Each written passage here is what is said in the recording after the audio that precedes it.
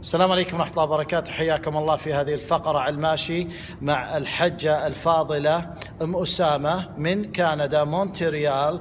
واللهم فرج كربها في الوقت الحاضر الغوطة تحتضر الغوطة الشريفة غوطة العزة غوطة الشام.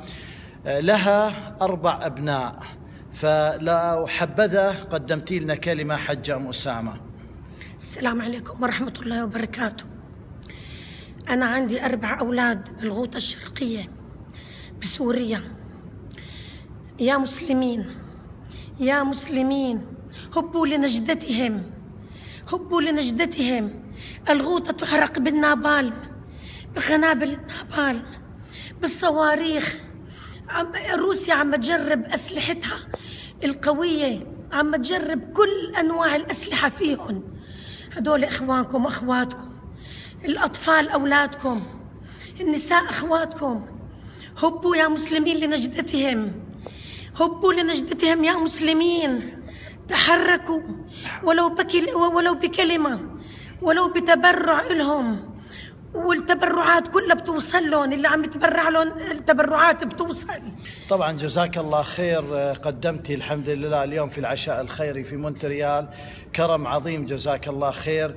طيب أكيد ليل ونهار بتدعي لأولادك وبتدعي لأخواننا وأخواتنا اولادنا وبناتنا كلهم في الغوطة وفي الشام. فماذا لو آه، وصلك خبر إن أولادك راح يشوفوك ويجتمعوا معك بكندا قريبا جدا. طيب هل ستكون فرحة كاملة؟ يا ريت. أسأل الله العظيم. أسأل الله العظيم رب العرش العظيم أن يحقق لي هذه الأمنية. أسأل الله العظيم رب العرش العظيم أنه يجمعني بأولادي بسلام وبأمان. أسأل الله العظيم أنه يحقن دماء المسلمين بسوريا وبغير سوريا. أسأل الله العظيم أنه يحقن دماء المسلمين في كل بقاع الأرض. أدعو الله أنه يعز الإسلام والمسلمين هل وصلت ويعلي كلمة الحق والدين. آمين آمين. يا هل وصلتك رسالة معينة من أبنائك أو متى وصلتك وكيف و... ما هي الرسالة اللي وصلتك من أبنائك الأربعة في الغوطة؟ اليوم اليوم اتصلت آه، اتصلت بالأول ما رد بالثاني ما رد بالثالث ما رد. الرابع رد. هو بال بالمرة بالمرة يا أسام تعبان. قال لي ماما نحن بالأبو. رايح بده يجيب لقمة أكل لأولاده من بيته. في مسافة بين بيته وبين الأبو 500 متر. لبين ما رجع من من بيته للأبو سبع ساعات. سبع ساعات لحتى قطع مسافة 500 متر. من كتر القصف الشديد. نيران عم تحرق الأخضر واليابس. عم تحرق الحجر والشجر. ما عم لا تبقي ولا تذر. ما عم تترك حدا. سبع ساعات لقدر يوصل على الأبو. 500 متر بس قطع. ومع إنه هو على بسكليته إيش الكلمات اللي من أم حنونة ومن أم مقهورة؟ إيش الكلمات اللي ممكن إنها تصبر أبنائك سمعوها منك؟ الشيء اللي دائما بقول لهم اياه واليوم قلته لابني. قلت له يا ماما لا تيأسوا. لا تقنطوا من رحمة الله. الله أكبر. أبدا أبدا و- و- ولا يقنطوا من روح الله إلا القوم الكافرين. أبدا لا تقنطوا ولا تيأسوا. رب العالمين جل جلاله قادر إنه يقول للشيء كن فيكون. جل جلاله. ربما محضر لكم مفاجأة بآخر لحظة.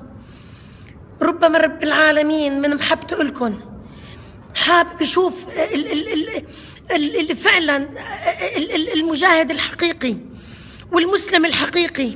من المسلم ال- ال- ال- اللي اللي اللي آه، له غايات تانية. الله.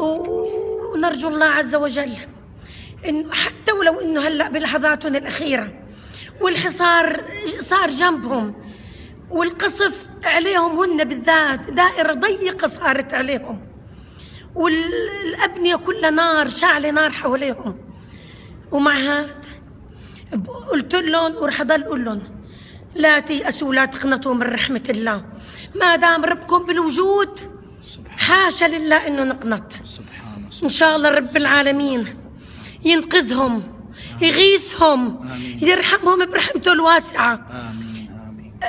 أرجو من الله أن يجرهم أرجو من الله أن يعينهم أن يتلطف فيهم أن يعطف عليهم.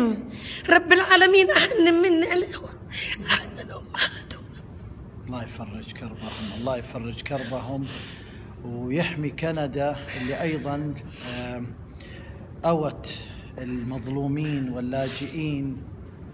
وكلمة آه، بشأن كندا عندك آه، حج ام أسامة؟ والله كندا ما قصرت أبدا أبدا. كندا استقبلتنا أحسن استقبال. الله أكبر.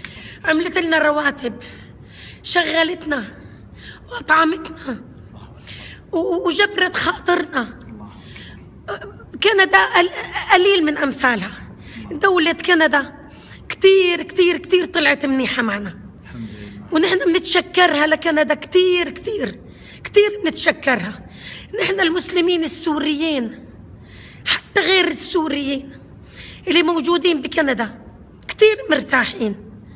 ونرجو الله عز وجل أنه يكتب الرحلة